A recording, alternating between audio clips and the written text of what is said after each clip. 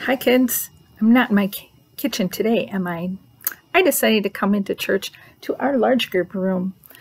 I don't know about you, but I am really starting to miss people that I haven't seen in a while. It can be hard to not be around people that you care about. Today, we're going to hear a story about a man who had a sickness called leprosy. Leprosy is kind of like the coronavirus in that people are afraid to catch it. And so this man couldn't be around his family or his friends. But Jesus helped him. And Jesus' power can help us too when we're lonely. Before we get started, though, you need to collect your supplies for today. You ready? Of course, you're going to need your thankfulness journal and something to write with. You're also going to need a tape measure or a yardstick. Then you're going to need a clear container about one third full of water.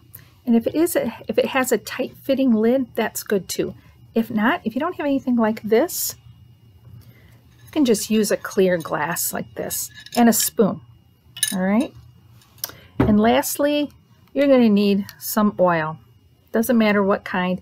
And if you want to put it in a smaller container so you don't have to have the whole bottle with you, that might be a good idea too. Okay, so I'm going to pause the video while you go and collect your supplies. I also want to take a minute to talk about our God sightings for this week. How did you see God at work? This week, I saw my first butterfly outside in the garden. So pause the video and talk about that. You know, with, even with all those good things, there's still some hard stuff too. I wonder, what's been the hardest thing for you during the coronavirus situation? For me, it was walking into this room and seeing all those empty chairs. Wow, I miss you guys. So, right now, pause the video and share with your family what's been the hardest thing for you about the coronavirus situation. One of the hardest things for people right now is not being able to see their extended family or their friends. For me, right now, I really miss my grandkids Donovan, Allison, Taven, Bannon, Dawson. Ah, how about you? Right now, I'm going to have you pause the video and share with your family the name of one person that you're really missing right now. Go ahead and pause. Being separated from the people that we love can make us feel very lonely. But Jesus' power helps us when we're lonely. Let's hear how Jesus' power helped a man in the Bible who was probably very lonely. Now, back in Bible times, there was a disease called leprosy, okay? And if you got it, you'd often get painful sores all over your body, okay? There was no cure.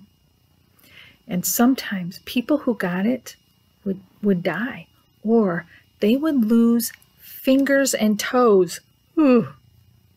As you can imagine, people were afraid to catch this disease. Kind of like people are afraid to get the coronavirus right now. What are some things that we are supposed to do to avoid catching the coronavirus. I want you to pause the video and list as many of those things as you can think of. Do that right now. So, one thing we're supposed to do is wash our hands really well. And what I've been doing is I've been humming the happy birthday song through twice. So, do this with me. Let's pretend to wash our hands. Here we go. We'll hum the happy birthday song.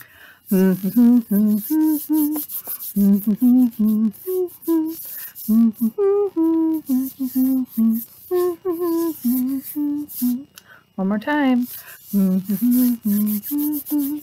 Keep washing.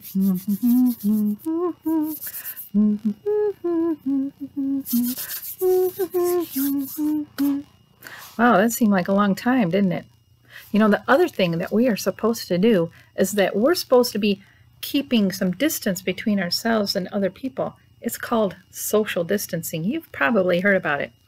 They're recommending that we stay six feet apart to avoid catching the virus. Let's see what that might look like. go ahead and get out your tape measure or your yardstick or ruler.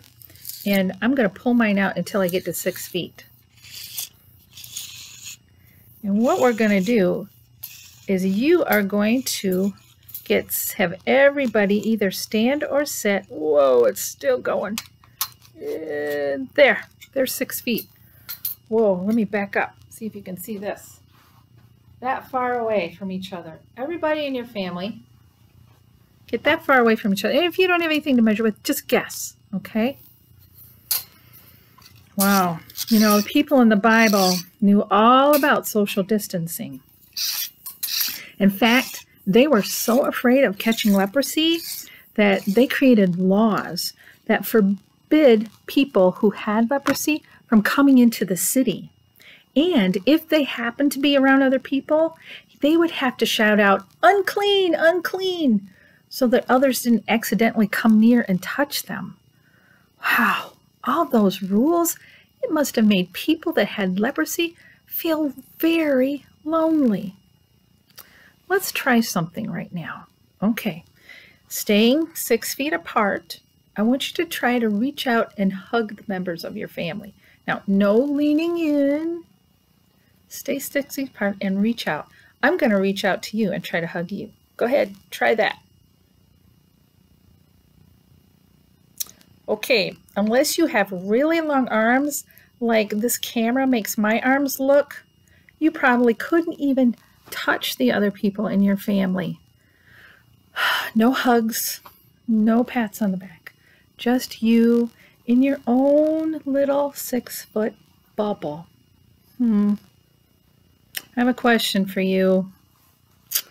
How do you think it would feel to have to social distance from each other for years? Go ahead, pause the video, talk about that.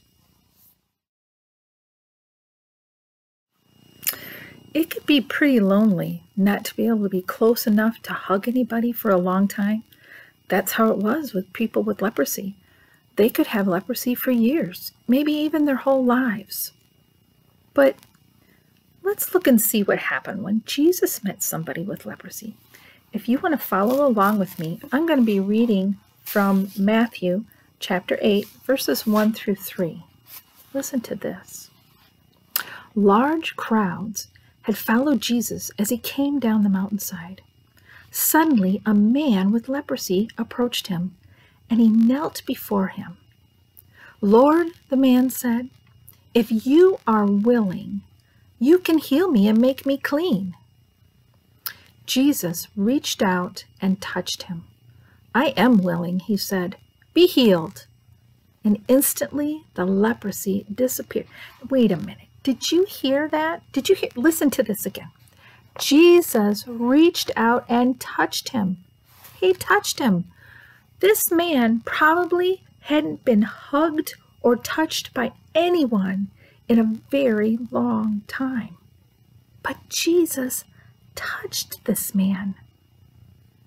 Jesus wasn't afraid of leprosy or the coronavirus. He knows that his power is stronger than any disease.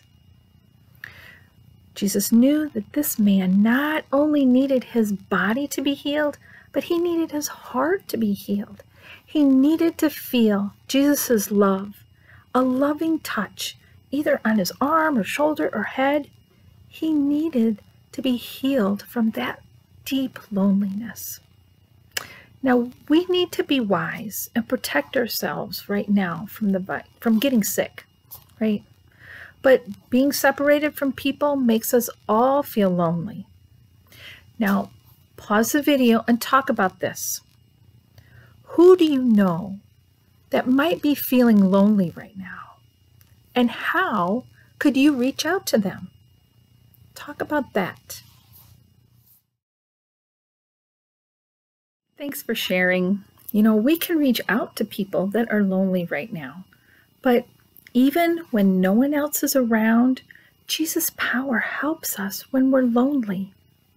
He is always right there to comfort our hearts and help us to feel better.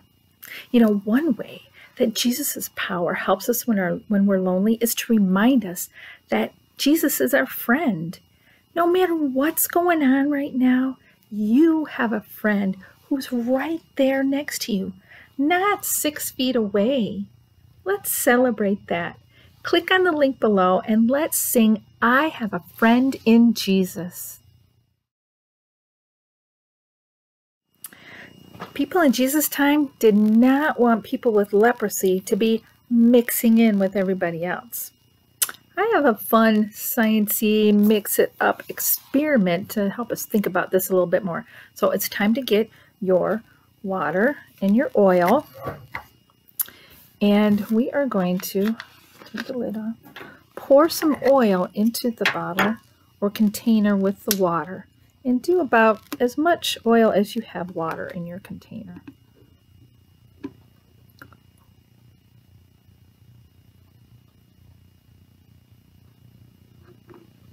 There. And then put the lid back on securely. You might want to get an adult to just double check. All right. And then um, we're going to shake this up for 10 seconds. You can kind of see that uh, the water and the oil are separate, aren't they? But we're going to try to mix them up. Okay, you ready? Now, um, if you are don't have a container with a lid, you're going to stir for 10 seconds. And I'll count it down for us. Okay, are you ready? Here we go. One, two, three, four, five, six, seven, eight, nine, ten. All right. Hmm, that looks pretty mixed up. You know what, let's let that sit there for a second. And while we're waiting, you're going to pause the video and talk about this with your family.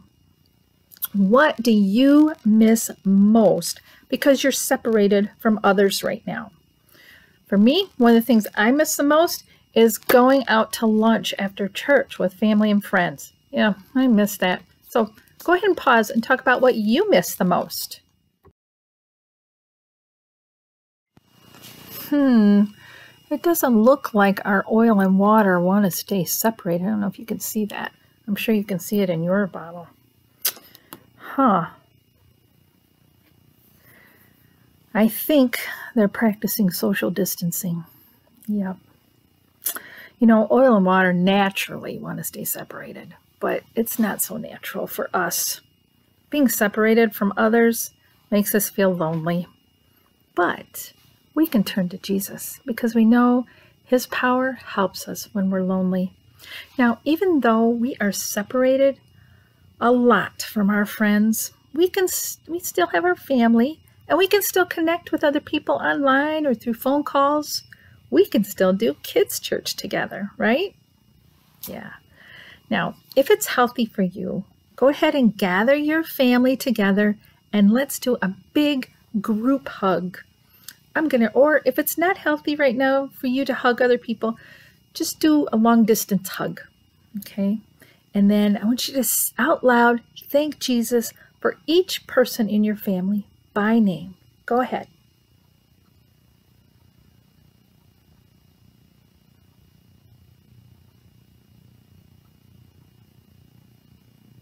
You know, focusing on people God Jesus has put into our lives, even during this hard time, can make us feel less lonely. And that's one of the ways that Jesus' power helps us when we're lonely. So when this video ends, I want you to get out your thankfulness journal and draw a picture of someone that you are thankful that you can connect with right now during this hard time. Put the date on it. And then through the next week, keep adding to your journal, okay? Keep watching for those God sightings. All right. Well, I love you guys. See you next time. Bye bye.